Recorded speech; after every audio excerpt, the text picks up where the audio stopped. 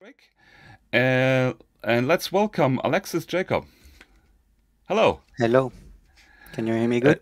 Uh, uh, yes, you sound perfect. Uh, you're the CTO of Numberly and can be found on the internet, just as a warning ahead, as Ultrabug. So that's an interesting name. yeah. But I don't want to break your concentration now because you're going to tell us something about static documentation. Yeah. And so let's uh, start your screen share now and I'll leave the stage to you. Thank you very much, Martin. Hello, everyone. I'm very pleased to be with you today. And uh, yeah, uh, as Martin said, I'm the person between uh, standing between you and the lunch break. So I'll, I'll, i promise I'll be on time. Um, today, I'm going to explain and demonstrate how to generate static documentation or website that supports multiple language um, using MKDocs and GitHub. When I switched my own website uh, from WordPress to MKDocs, I wanted to support multiple languages of it, but I found nothing but ancient uh, MKDocs issues uh, asking for it. And you'll be surprised to know that um, this feature has been wished by the MKDocs community since 2015. And I hope uh, that this talk will uh, equivalently uh, surprise you um, in demonstrating how simple we've made it to achieve in 2021. I'm super happy to have worked in making this a reality for the community. So let's start. Um, as you can already judge by my accent, I'm um, I'm French and I'm from Paris. Um, my name is Alexys. I'm CTO at Numberly, just like Martin said. Um, so you spoiled it a bit for me, uh, Martin. Um, I'm engaged with uh, mostly Python-based project and communities. I'm a PSF contributing member as, as such. I'm the author of uh, various uh, open source uh, uh, projects, such as one that I will be talking about today. Uh, I'm an MKDocs contributor and maintainer as well. Uh, all this work made me a maintainer of MKDocs. Maybe I got a bit too much involved there. Um, I've been a Gentoo Linux developer as well for more than 10 years now, where I work on packaging cluster or distributed databases uh, related stuff. And I'm also uh, part of the people that are maintaining the Gentoo Docker uh, containers. I like to share uh, my uh, uh, experience and production experience during tech conferences such as EuroPython for many years now. Um, tech webinars, blog posts on my on my website that is linked below. Um, and yes, just like Martin said, you can find me about everywhere as Ultrabug. So uh, let's start by introducing the different components uh, that we'll be using uh, to achieve our goal today. And the first one is obviously related to the documentation engine, which uh, uh, is MKDocs, that is, uh, has been created in 2014 by Tom Christie. the idea is using a very simple YAML file to configure your site. MKDocs will generate a static site out of plain text files formatted using the lightweight um, markup language called Markdown. Speed and simplicity were uh, the key drivers of the MKDocs development, and that explains, I think, why it became so popular. Um, MKDocs is written in Python, the core itself, though you don't have to use any Python at all if you want to use it. Um, but um, I'm just saying this because its source code is really easy to understand and uh, we are open to contributions so feel free to look into it if you want to. I've put on i've put down some links to some markdown guides and tutorials if you want to to to learn um, more about uh, the, the markdown uh, markup language. Then uh, mkdoc sites can be themed and while it comes with two built-in themes, uh, their look and feel is a bit dated, um, and their customization is limited. Uh, MKDocs material is by far the most popular theme for MKDocs, as it is based on applying the material design principles to MKDocs uh, generated sites. It is very customizable, searchable, mobile-friendly, supports uh, uh multiple languages uh, also Um, and in case you didn't know, Material is an open source design system from Google uh, that helps uh, teams build high quality digital experiences. Um, it defines guidelines, layouts, colors, typography, and components for teaming websites, mobile applications, and more. So I've put on the link as well uh, if you want to, to check it out. Now, let's talk about supporting multiple language uh, of our documentation or website. And supporting multiple languages is, uh, is called nah, internationalization or localization or Actually, it depends who you ask. And before bringing multiple languages support to MKDocs, I must confess that I never gave a thought about this. So I, I, I was quite amazed to see how this question could generate, degenerate in a, in a flame war.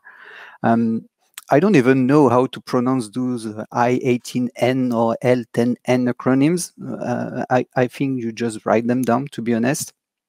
Uh, what I learned along the way is uh, that the 18 in I18N stands for the number of letters between the first and I and the last N in the word internationalization.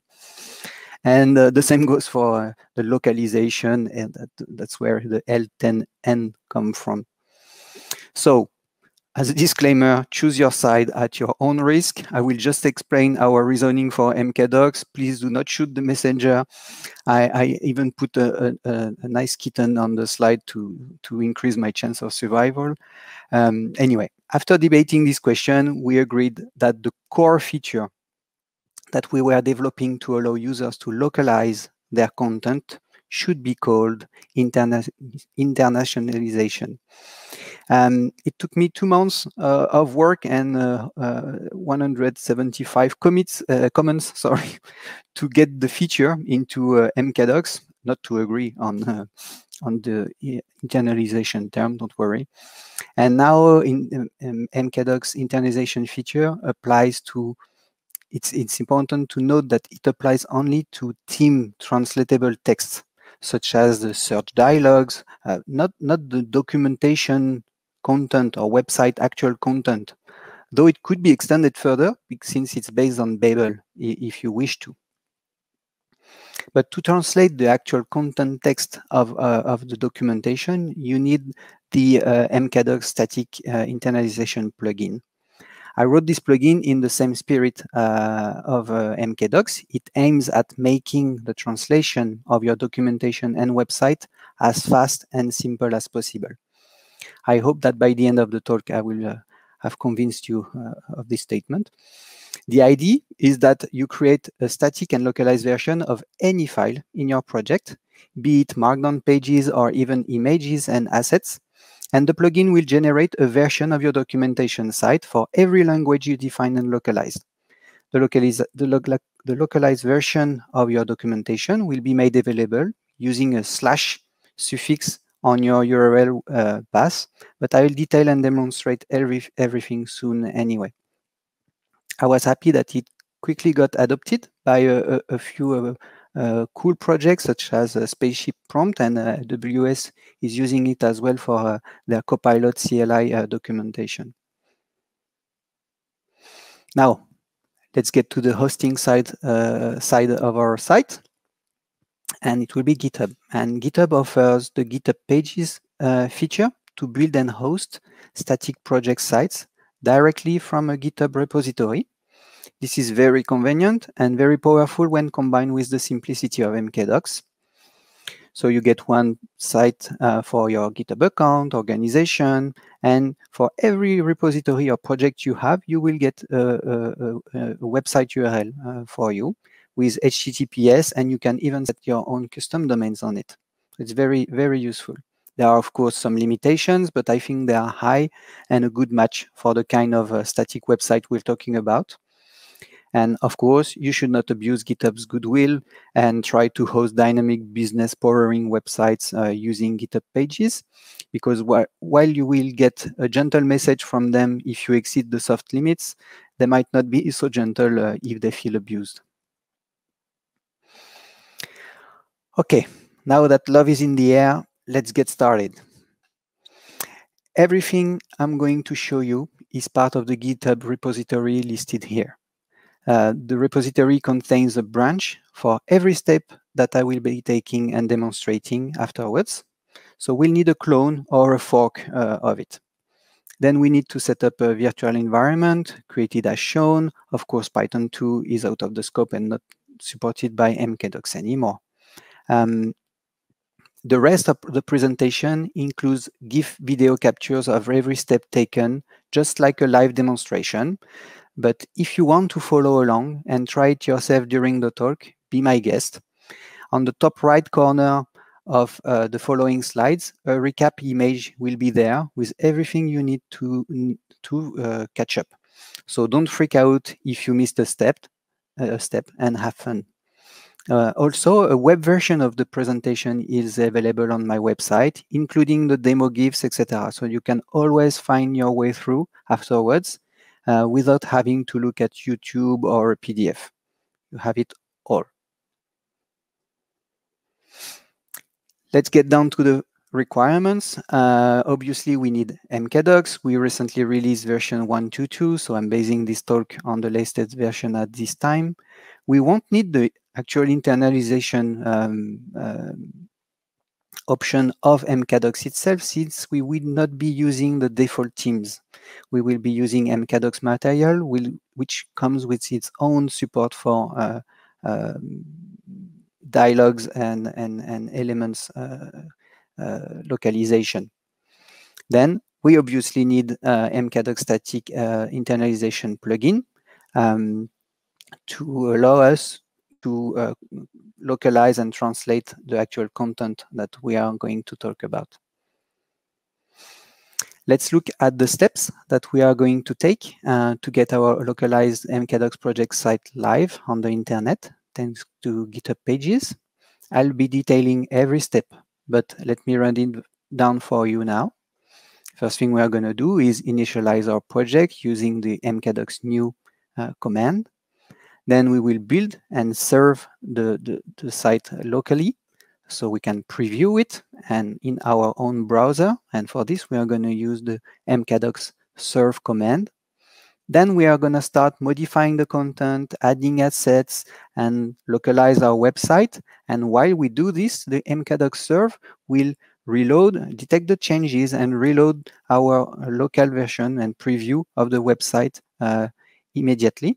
So we will be able to, to, to actually see the result of our changes live. When we will be done, uh, we will commit and push the changes to, to the GitHub repo which and then we will deploy our site to GitHub pages using the mkdocs GitHub deploy command. And that's all. Our localized website will be online. Now, let's start. We initialize our mkdocs project. We use the mkdocs new dot inside the, the, the repository. It will create two files. Uh, the first one is mkdocs uh, YAML configuration file, and then it will create a folder with an initial index.markdown file uh, that will serve as our home page. You can see that uh, on the little images thumbnails, um, I will highlight the things that are important to see uh, in, in, in red. So here we see that using this command, it created the two files. Great. Now we are to uh, testing and previewing is very handy and comfortable when working on a, on a website project. So mkdocs serve gives us the what you see is what you get feeling uh, that we are looking for. Um, so it will build, run a local server. So you can open the, the given URL on port uh, 8000 and you, your browser will display the, the, the rendering of the index that uh, that uh, markdown that uh, was created in the step before. So you will get presented the default MKDocs website in your browser. Now let's demonstrate how live reload works by changing the site name. So here you see that we have uh, the, the file directory structure that I just explained. I'm going to run mkdocs serve. My website is ready. you see that the, the, the, theme, the name is, uh, is highlighted. Then I'm going to change on the mkdocs YAML uh, configuration file, file the site name. When I write and save this file, the mkdocs serve will pick up the change and automatically reload. And you can see that the title in our browser has just changed. It's as simple as that. Change detection applies to both the mkdocs YAML configuration file and all the files in the docs folder.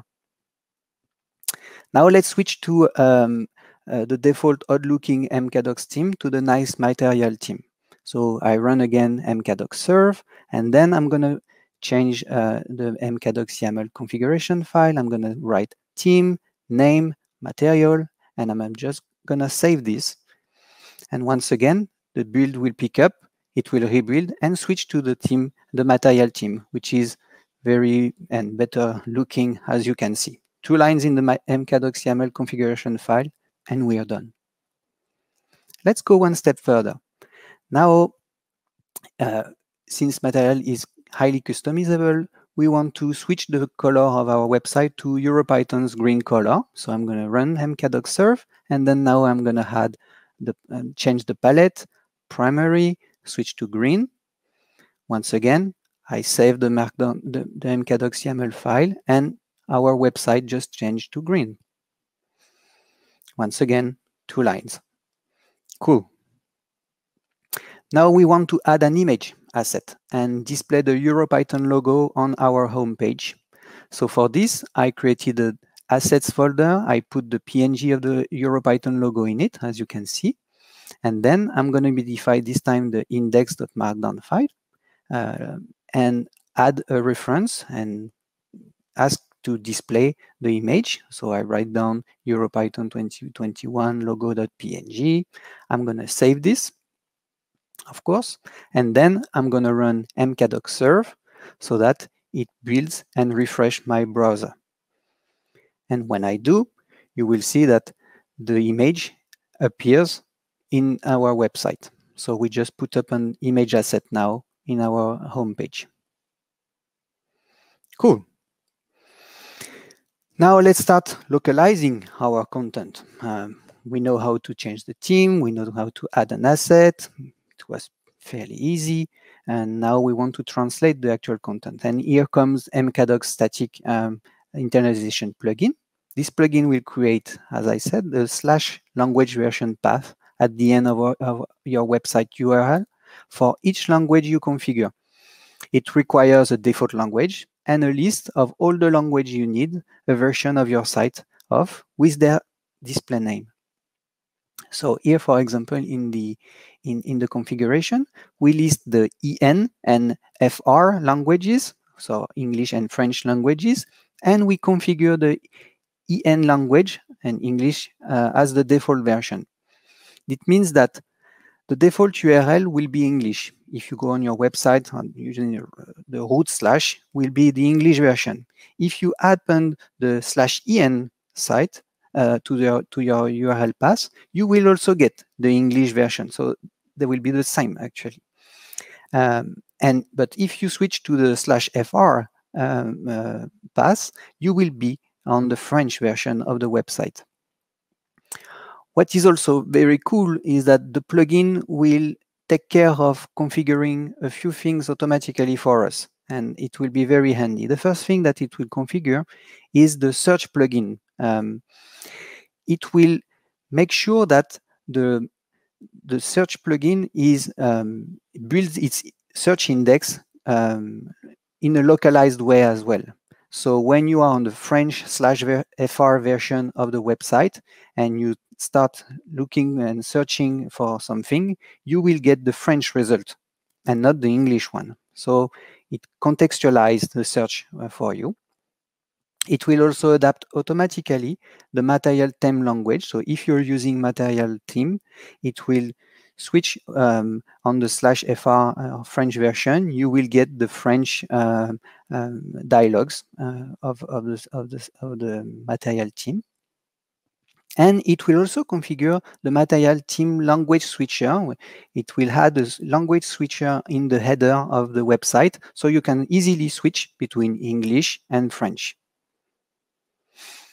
Now it's time to work and translate our website content. Um, so the way it works is that uh, MKDocs static um, internalization plugin detects the localized version of any file from their language suffix and extension. So we localize the version of pages and assets by suffixing them with dot language dot the extension of what you're uh, uh, doing. So in, in our case, we want to um, to localize the home page. So the home page was index.md.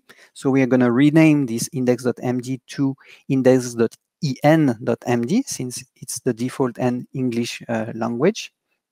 And then we are going to add another file, index.fr.md, for the French version. You can see it as well uh, on, on, the, on, the, on the directory tree highlighted. It will look like this. Um, in the English version, you get what we had before, EuroPython 2021 homepage, and everything is written in English, obviously. And you do the counterpart in French. Um, if you don't know French, believe me, it's French. Um, index.fr, this time .md. And that's all there is to it. So let's demonstrate it live. So we had this website. So now I'm I'm gonna show you that in the directory structure now in the, instead of having index.md, I have index.en.md and the French one as well. And now I'm gonna start configuring the plugin. I'm gonna ask for the search plugin. I'm going to load the internalization plugin, set the default language to English, and then define the languages I want a version for. English will be named English, and FR will be named French, uh, Français, sorry. I write this uh, mkdocs YAML configuration file, and then I just run mkdocs serve. And here you can see that immediately the page has been refreshed. I see my title, and then I see the language switcher that has been configured for me. If I go on the English version, I go, I see this. If I go on the slash en, I still see the same as the default version since they are both English. Now, if I switch to French, I see the actual content of the French. I see the dialogues of the team has been switched as well to uh, their French, the French language. So everything was done automatically for me for the by the the static uh, uh, plugin. And that's all. But now let's go one step further. What if I wanted to localize the assets of our documentation site uh, in the French markdown source of an image? We would have to reference the French version of the image, right? Um, and the same goes for internal page links. French pages would need to link and reference French suffixed versions of our pages. This would make translating content slower and cumbersome, even more uh, when we add or remove new links and assets. Every page would need to be updated uh, specifically. But fear not, the MKDocs static uh, plugin uh, will automatically use uh, the localized version of any page or assets referenced in your Markdown source without the need of their language suffix. So the way it works is that if we take back our example here, we have the index.en.md and fr.md. They both refer to the same EuroPython logo PNG without its extension, even though on our directory tree, we have created an English version of the, of the image, of the logo, and a French version one. MCAD, the, the plugin will detect that when we are on the slash or slash en uh, version, we are we actually want the .en.png version of the logo. And when we will be browsing the slash fr version of the of the of the documentation, we actually want to see the .fr.png. But in the source itself of the markdown pages, we reference the image without its localized uh, language extension. It will be localized automatically. So we can actually focus on translating the actual text and not uh, juggling between um, the assets or page link references. We just references reference them without it. So let's demonstrate let's demonstrate this uh, live. So if I look at my directory tree now in uh, in our uh, repository, what we can see is yeah I have the, an English version and a French version of the uh, logo. If I look at the source uh, of uh, the Markdown, uh, the English version of the Markdown, I can see that I do not have uh, uh, the .en .png reference.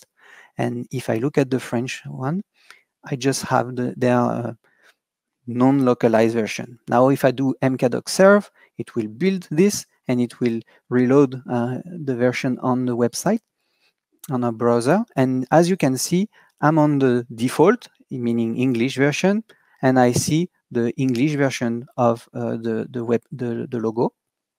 If I go on the slash en, since it's uh, the same, I still see the English version of the logo. But if I now I switch to the French version, I see the French version of the logo. That's it. Uh, we are done and we have successfully created a website supporting multiple languages using mkdocs. Plus, it has automatically configured um, and, and, and localized the reference of our assets, so it's even easier to do. It has a great look and feel, an intuitive ergonomy, and a cool and localized search engine. It's time we pushed our great work to our repository. So we just add the files that we created, we commit them nicely, and we push them uh, to, uh, to our GitHub repository.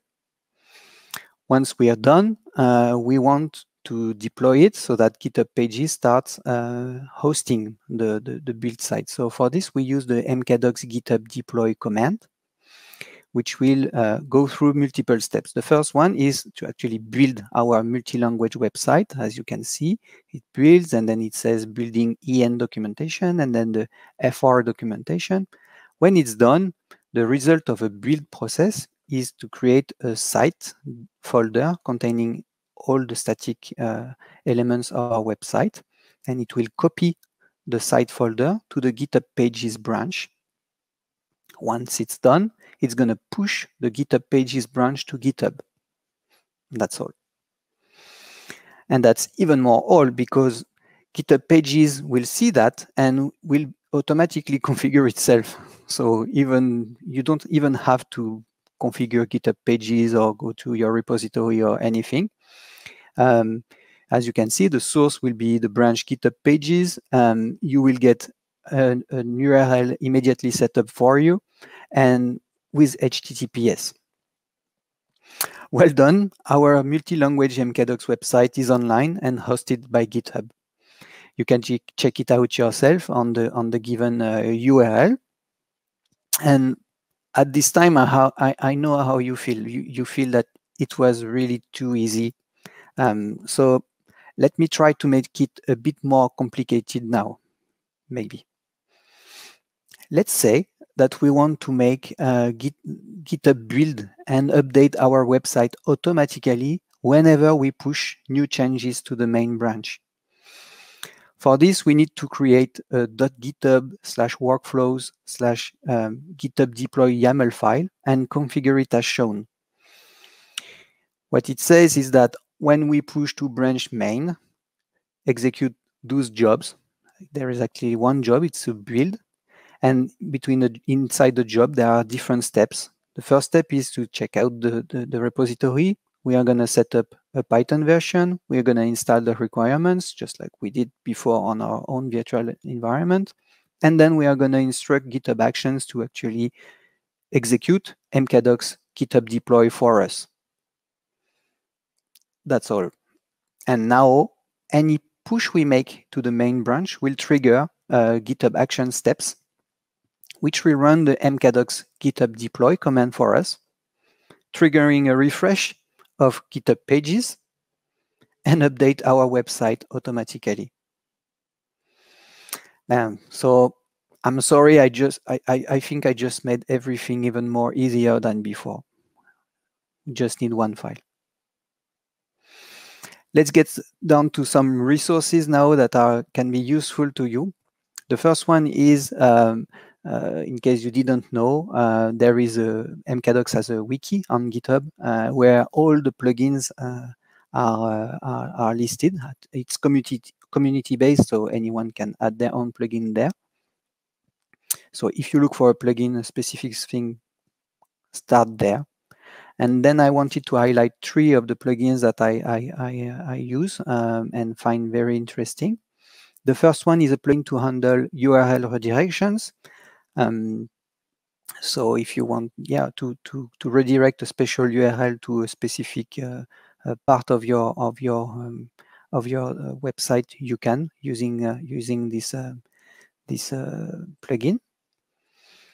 The second one is uh, very useful uh, when you want to be able to control the navigation ordering of your pages um, and even more inside the structure of your page, uh, of your website. So you can have different styles of ordering uh, because if you don't have this, they are sort um, alphabetically.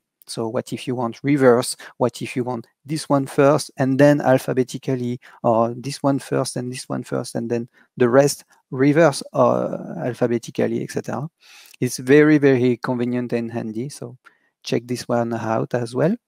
And the last one is very interesting as well because it allows you to hook your own functions to the build process. So when you you build or uh, GitHub deploy or whatever, um, you can hook a function that you have defined inside your, your code um, um, to, uh, to, to run.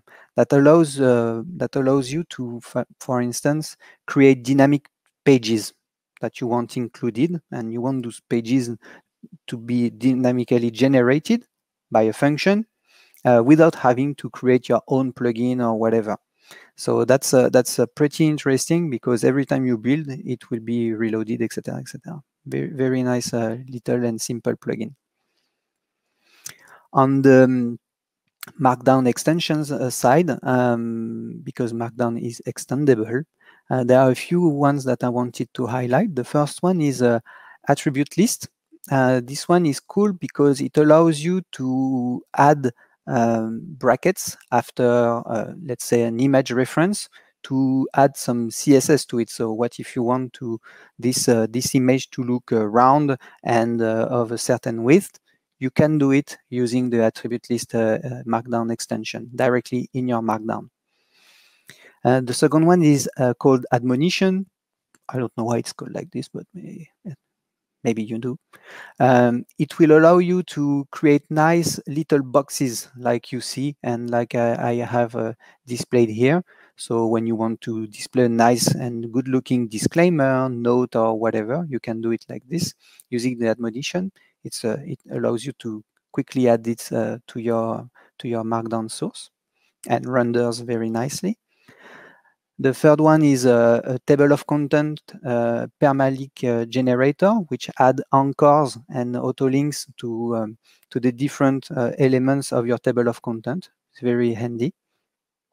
Of course, no website today uh, can be a full website and a real website without nice emojis.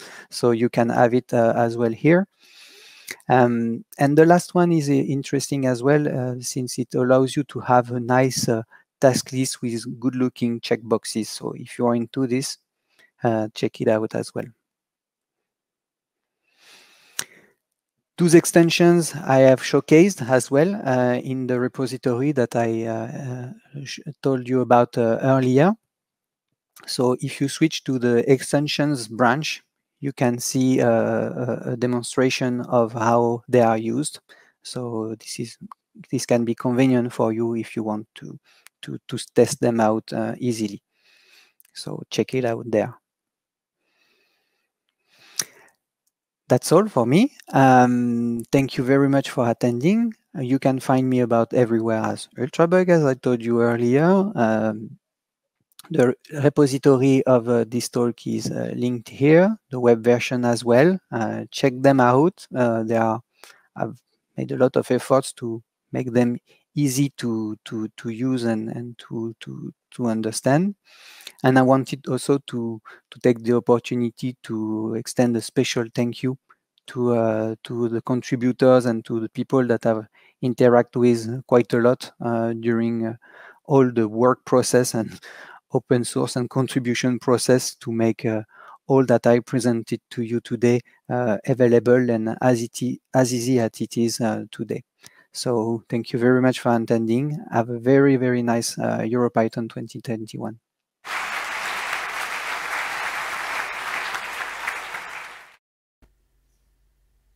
Okay, so uh, thank you very much for this introduction and also for providing both the slides and a GitHub repository so that we can try uh, out all this on our own. We had quite a few questions and uh, let's do a simple one first. And that's from Sebastian. Oh, sorry, I missed. Well, is it possible to use doc strings from the code to generate some docs automatically? And while we were discussing this, uh, Gina was also uh, getting involved in this, and she looked it up and had a more specific questions, like do you have experience with something like MK Autodoc to generate API docs in MKDoc?